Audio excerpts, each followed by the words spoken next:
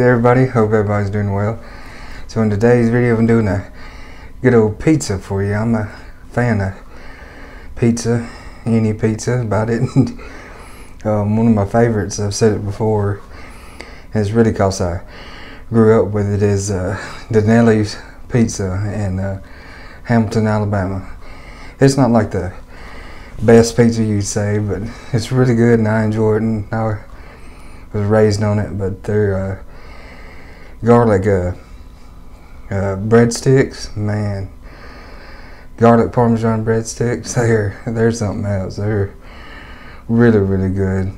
Then they have some like Italian pockets and stuff that are really good. I enjoy, but um, really good. it made me crave Dinelli's right now. But yeah did a pizza for you. This is one, it was a new one on me. I'd never had it before or tried it, and this was the first time I was making it. But first time I had it was at my sister's house, and my sister and brother-in-law had made it for us, and it was really good. But it's a chicken crust pizza. You get uh, canned chicken, and then Parmesan cheese, egg, and then whatever flavoring you want to go into it. And I just went with Italian seasoning and uh, garlic powder to give it just a little more kick and flavor and then get that kind of Italian-y kind of flavor in it as well.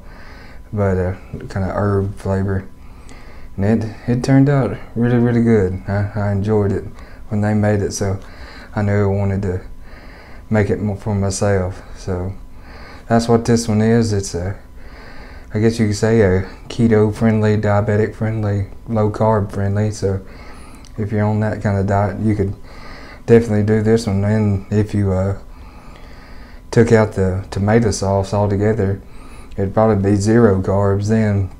I know I, I barely put any sauce on there because I don't like a lot, a lot of sauce, just enough to get that hint of flavoring in there. So I just put a little dab of sauce on there and then a lot of cheese. So you had the Parmesan cheese, and I put a whole eight ounce pack of uh, mozzarella cheese on top because I like my cheese. So it was cheesy and uh, really good. So we'll jump on into the cook of the video. So hope y'all enjoy this one and stick around through it and make it for yourself. So we'll jump on in. Well, alrighty, folks, here's what we're looking at ingredients wise. So we got two cans of chicken, they're like 12 ounce cans. got Parmesan cheese, two eggs, some uh, sauce. I had pasta sauce, but it's gonna work just as good as a marinara pizza sauce. Then I got some uh, mozzarella cheese and Italian seasoning. And like always, I forget to set something out, but I had to set out the garlic powder too later. But garlic powder's going in there. So started out opening my cans of chicken. I'm gonna drain them off. Really, really good. And with the chicken, you make sure you want to get it really, really dry. So I just poured it through my strainer and let it sit for a few minutes so it quits dripping. And then I pressed on it a little bit more to make sure to get all the moisture out of there that it could. And then once I had let it drain all the way, got my oven uh, preheating to 200 degrees there. And then I'm just going to lay it on a baking tray, kind of spread it out, and then I got it spread out a little bit more. And try to get it where it's gonna get really good and dry, so your dough will set up.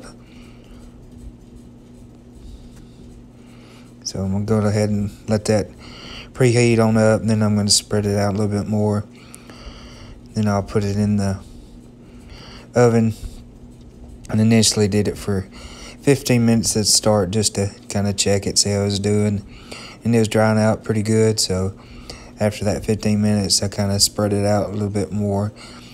And then I let it run for another 15 minutes, and then there's what it's going to look like after 30 minutes at 200, and then spreading it around, you can get it pretty dry. So now I'm going to go ahead and start getting everything mixed together for the dough. So I got two eggs, a cup of uh, Parmesan cheese, and then it's just a dash of uh, Italian seasoning and uh, garlic powder. I'd say about a teaspoon or so of each is what's going to go in it. And there's what your dough is going to look like once you've got it all mixed together. So I'm going to go ahead and get my oven preheating now to 400 degrees so I can cook the crust off and get it good and crispy and set before you can put your toppings on there.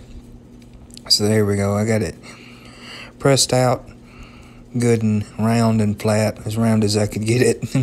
it's a little odd round, but it's fairly close. So now I got it preheat to 400. I can put it on in, let it cook, and let it cook for about 20 minutes.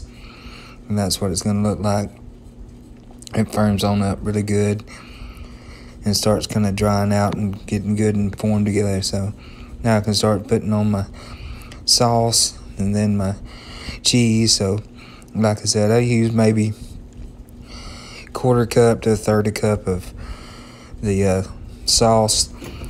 Then it's a whole eight ounce bag of uh, shredded mozzarella cheese. And right there is looking pretty good. And I rotated it every so often. But there we go. It's looking pretty good. So we'll jump on into the taste test and I'll let y'all see how I and what I thought about it. Alrighty, folks, got it done here. Maybe y'all can see it. I'll throw some pictures of it too, and maybe y'all can see the crust. Ooh, that's still hot. but turned out really good. Uh, we'd made it, or I hadn't made it. Went over to my sisters and we was doing some junk, just messing around, spending time with each other. And uh, my other sister and brother-in-law, they made it. And it was really good, so I want to try it out. It's a low carb or keto friendly pizza, I guess you could say. I just did cheese, little uh, tomato sauce, and then the crust, like y'all saw, was the canned chicken Parmesan cheese, egg, and then I threw in some Italian seasoning and garlic powder. So bump up the flavor a little bit more, give it more to it. But you can see it holds up really good, like a crust and all. So give it a. It's still hot. but it's really good. The crust holds up. So it gets that feel like you're eating bread. But it's really kind of just like a cheesy kind of crust since all that Parmesan cheese in there. So it's really cheesy. So it's really good. I I like it.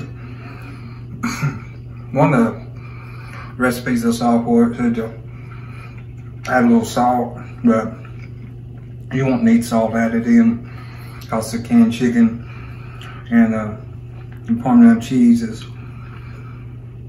got enough salt in it, but I like it. A little cheese pool there. And use a whole eight ounce uh, bag of cheese. Sorry, I'm hungry. I want to eat a little bit. but it's really good. If you're low carb in it or diabetic or something like that and don't want to deal with all the dough for getting with your carbs, I say go with this for sure. It wasn't that hard. Just when you're making it, make sure you uh, dry out your chicken really good. I drained it out in the sink for a while in a little strainer. Let it sit there till it quit dripping. Then I pressed it a little bit more to get it all out. And then I put it on a baking sheet, spread it out as much as I could.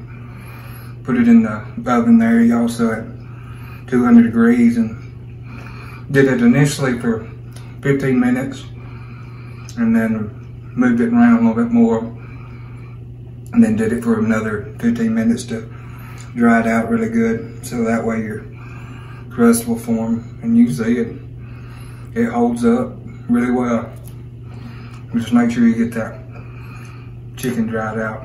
But yeah, this is good. Dab your little hot sauce on it, or if you have some ranch dressing or something, go with it. Garlic butter, like you have it. Papa John's, be really good with that too. But definitely happy with it. You know, I munching on down. I still got another one to go, and then more out in the kitchen. But I want to do a little taste test for you. But yeah, for low carb and pizza, it's pretty good. Good, good, good one. I say try it out. Pretty easy to make. Like I say, mine always are. But yeah, give this one a try. So, thank y'all so much for watching, y'all.